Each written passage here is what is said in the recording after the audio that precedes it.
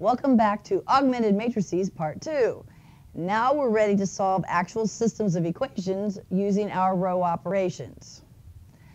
Okay, let's go over one more time what our goal is. What is it we are trying to create in this thing? Because that is a mission critical concept to understand what it is you want to build. What we're after in the end, we want to end up with a 1 in the first column. Then we will make a 0 below it then we want to get a 1 over here in the second column. For a two variable matrix, that's all we need. These other, the other columns can have any number we want in them. But you must do it, and you need to do it in that order. Find to get the 1 first, then you make the 0, and then finally you make the 1 again. You must do it in that order to get this to work. Otherwise, if you don't do it in that order, your row operations will cause you to lose the one or the zero you made earlier. So it's very important that you do it in that order. Okay, so first of all, we need to turn this matrix into an augmented matrix. Okay, you must work downward. For my sanity and your sanity, you must work downward. Do not go across your paper. You won't be able to keep track of your row operations and you won't be able to tell where you went with it. So must work downward, key.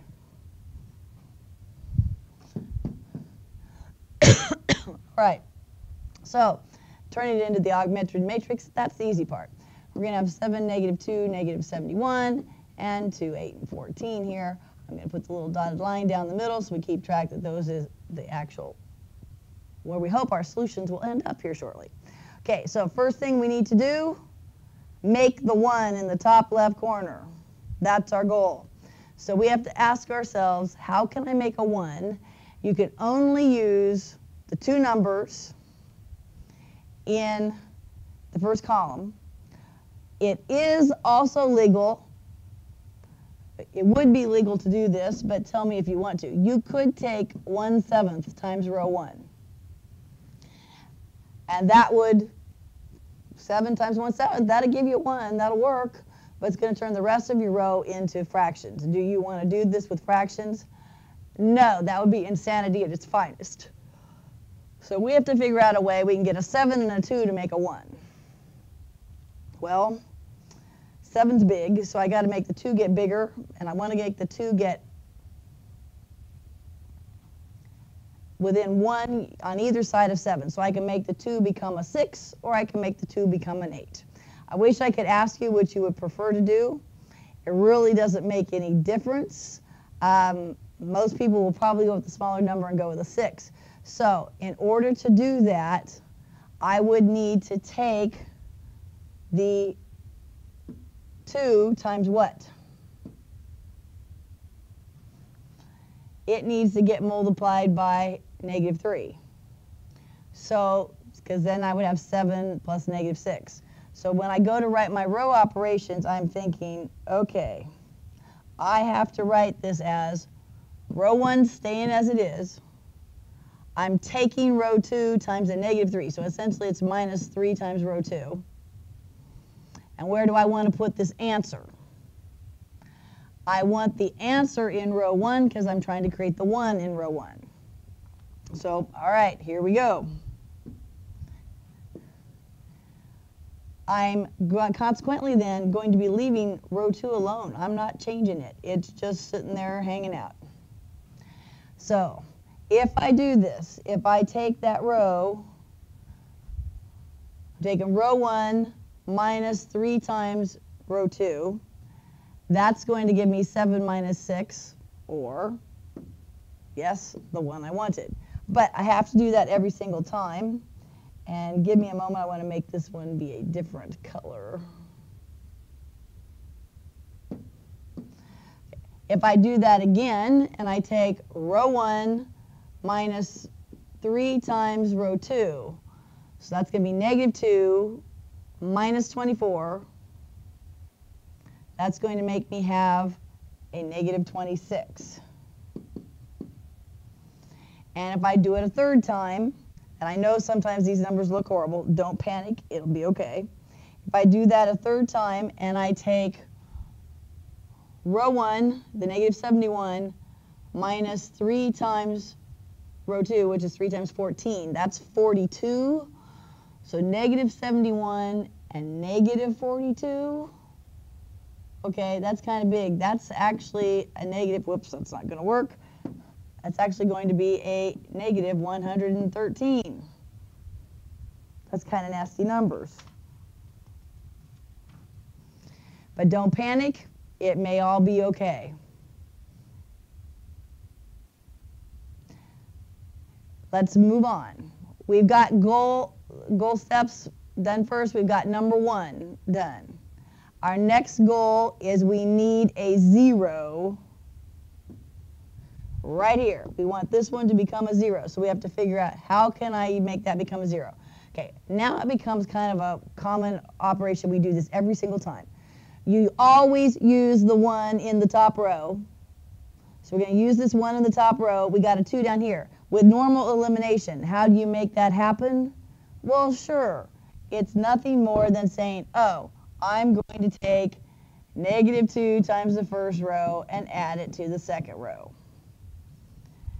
Because I want it to add up to 0. Making zeros is easy, particularly when you've got a 1. Now, where do you want to write the answer?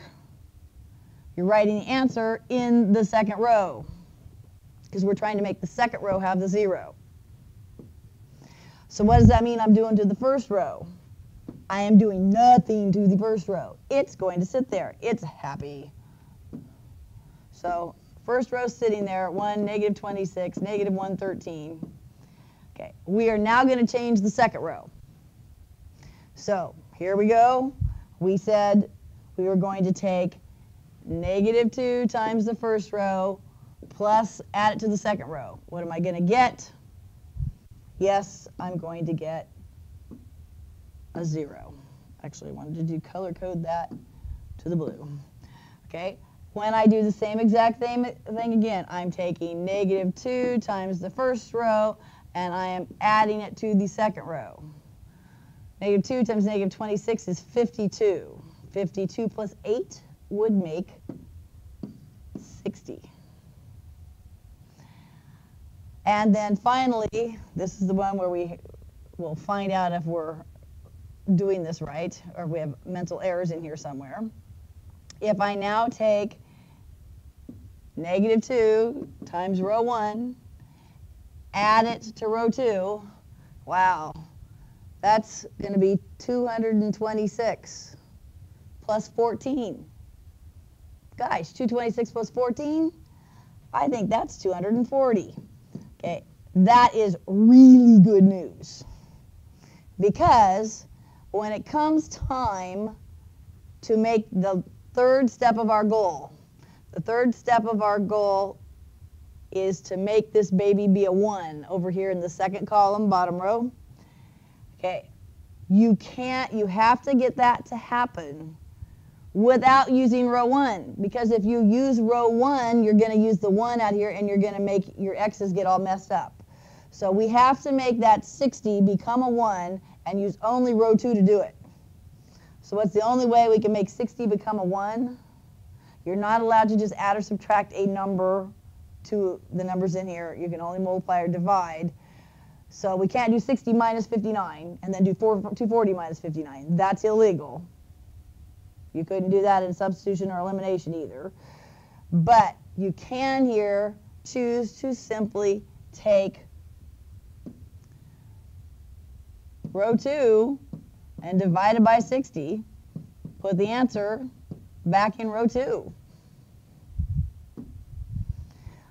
Am I changing row 1? Nope, because we are happy with row 1. It's got the 1 we want. We've got the 0 here. Row 2 divided by 60, 0 divided by 60 is 0. 60 divided by 60 is 1. 240 divided by 60 is 4. Okay, we have now succeeded in our goal. We have got this thing into the proper form, into the triangulated mode where we have the ones in the diagonal and 0 in the corner.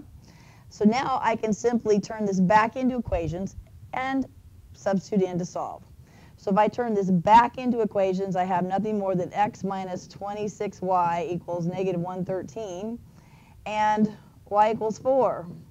Well, hmm, since I know y equals 4, I can sub that in, and I would have x minus 26 times 4 equals negative 113.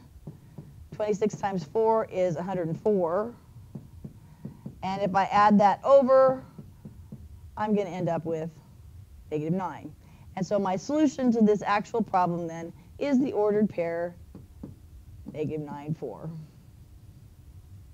Yes, I know that seems really complicated and you'd rather just do simple elimination or substitution. I get that. Okay, this method has become extremely popular because it's very easy to program a computer to do these kind of row operations. It's the way a memory hold, the computer's memory holds data. It, it holds data like a matrix. Each piece of data is in a different row and column, and so it's very simple to have a computer do these kind of operations. So consequently, since the computer age, augmented matrices have seen some rebirth and excitement. Okay, now we are going to try a three variable problem. And this one won't lie to you. This has a bit of challenge. So question is, first of all, what's our goal? What do we want it to look like? We want ones in the diagonal. Now I have to have three rows of ones. And I want zeros always beneath any ones. The rest of the matrix can be any number, doesn't matter. But it has to look like that when we get done. Now, what order do we want this done in? Well, that's also mission critical you go downward. You make the 1, you make the 0, you make the other 0. Then you go to the next column. You make the 1, you go down and make the 0, and then lastly you make the final 1. So it's going downward every time. Consequently, yep, this baby's going to take a few row operations. It's okay, we are up to the challenge. Okay, so once again, you're working downward. I'm turning this into the augmented matrix. I got 1, 1, negative 2, negative 1. I got 4, negative 1, 3, 3, 3, 2, negative 1, 4. Okay. Once again, can't tell you how important it is to copy the problem down. It's extremely painful if you discover your mistake is because you didn't copy it down right out of the book. Okay, first step, what's goal number one? Get a 1 in the top left corner. Check. We have succeeded. We have a 1 in the top left corner. Woo! All right, step 2. We need to make a 4. Or excuse me, we need to make a, a 0 where that 4 currently exists. Okay, this is elimination, dudes. If you had 1x and 4x and you were going to make it eliminate, wouldn't you take the top row times negative 4? That is all we are doing here. So you're going to take the top row times negative 4 and add it to the second row. Where are you putting the answer? Well, it's the second row where we want the 0, so we're putting it in the second row. We are completely and totally leaving the top row alone. It's got the 1. You will never change the top row ever again. It's already got the 1 in it. So the top row never changes after this point. It just sits. Okay, so we are now taking negative 4 times 4, or negative 4 times 1, adding it to 4 will get us a 0. I didn't leave myself enough room here.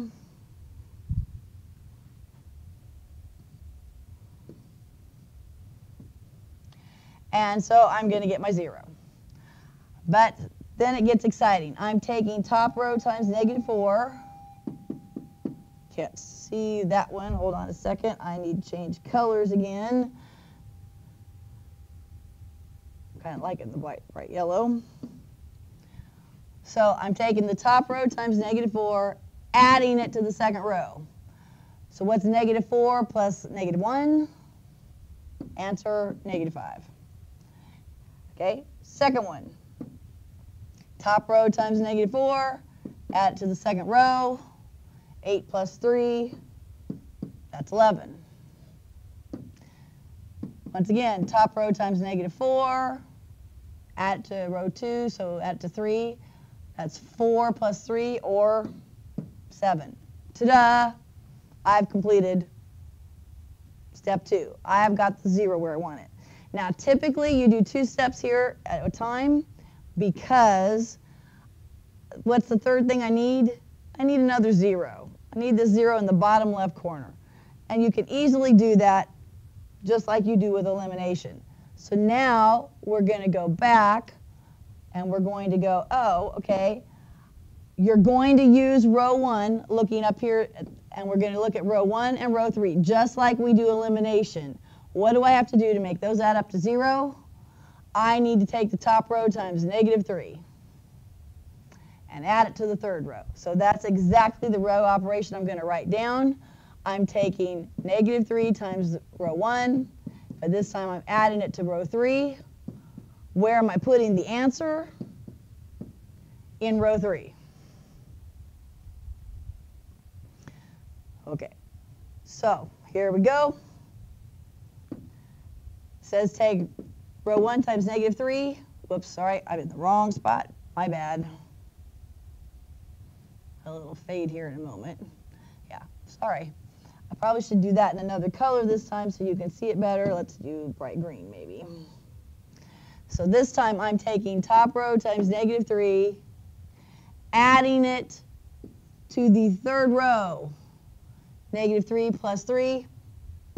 Yep, that's 0.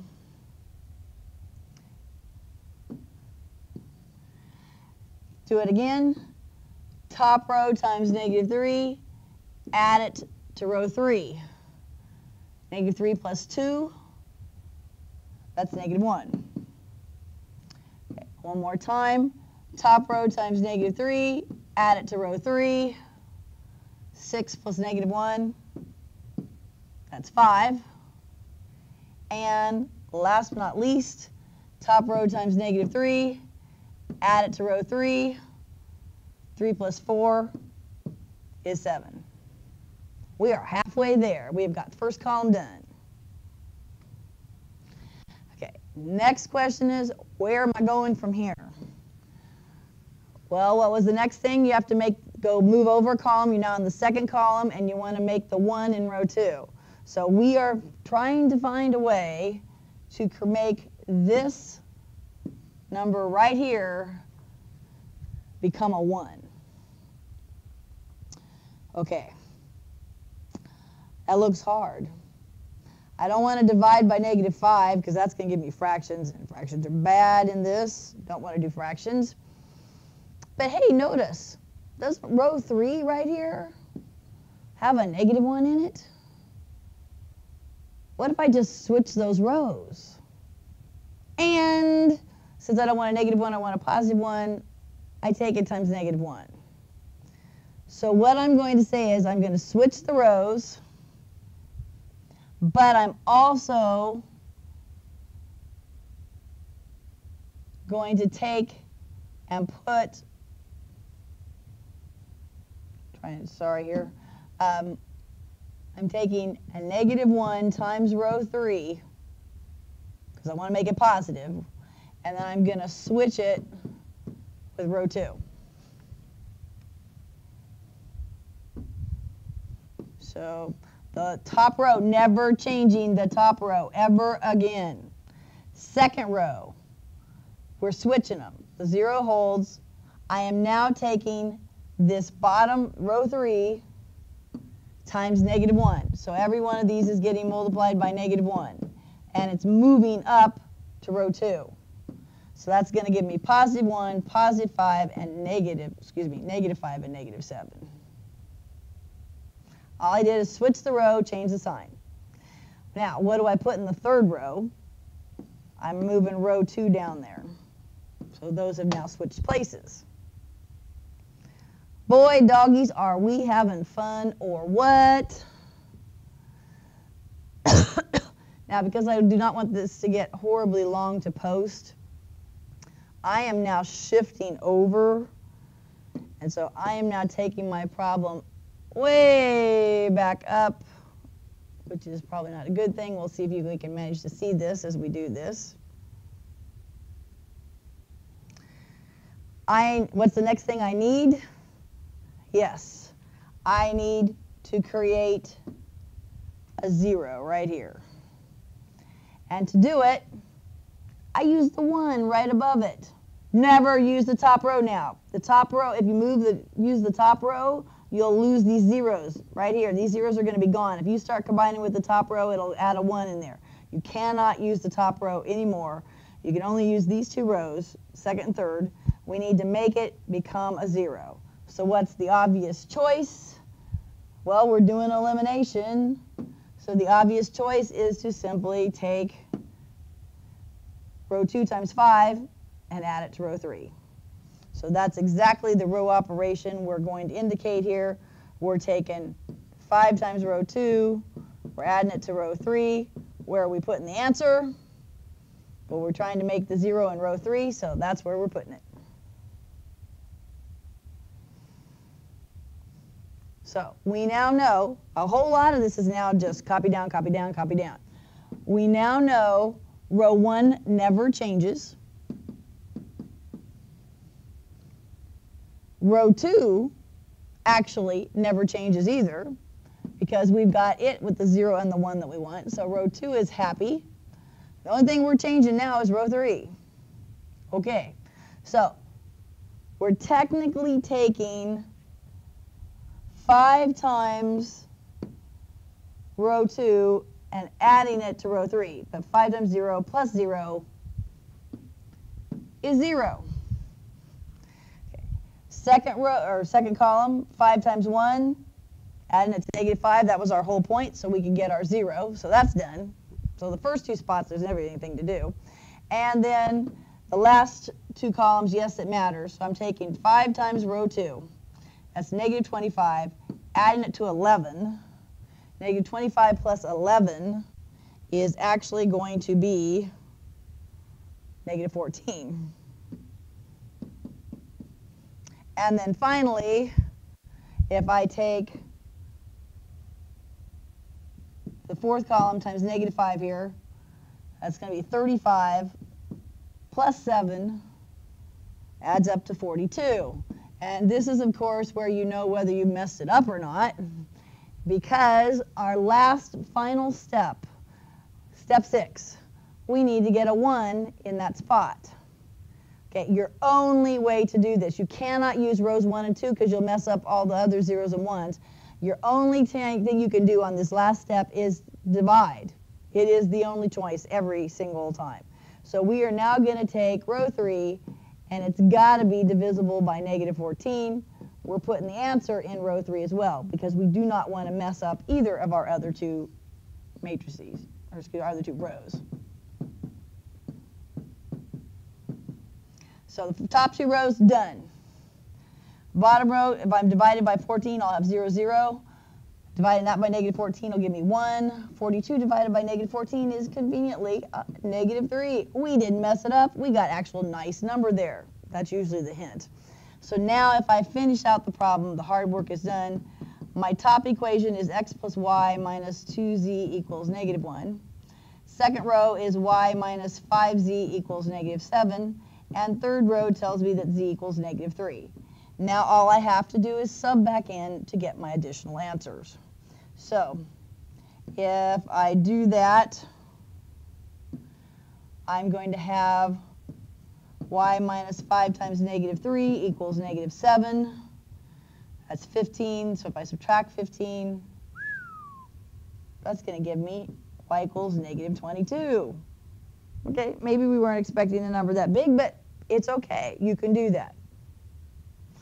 And then finally, I'm going to have to extend my page here. If I do it again to get the third answer, I'm solving for x now, so I'll have x plus negative 22 is y minus 2 times z, which is negative 3, and that is supposed to equal negative 1. Well, that's really a positive 6. So I have x minus 16 equals negative 1, which means when I add over, x equals 15.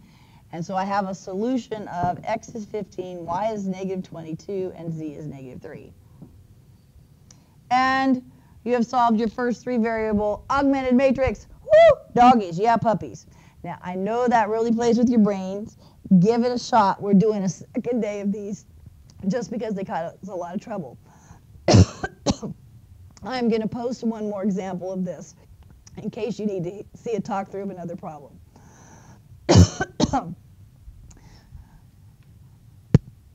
Good luck and don't get all choked up.